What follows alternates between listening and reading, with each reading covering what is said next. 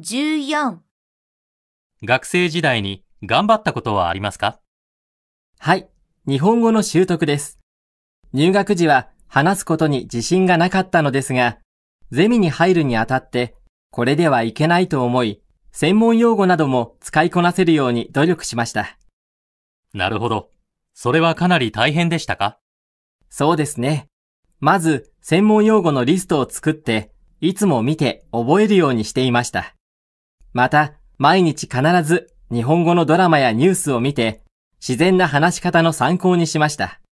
友人には間違いを必ず直してくれるように頼んでいました。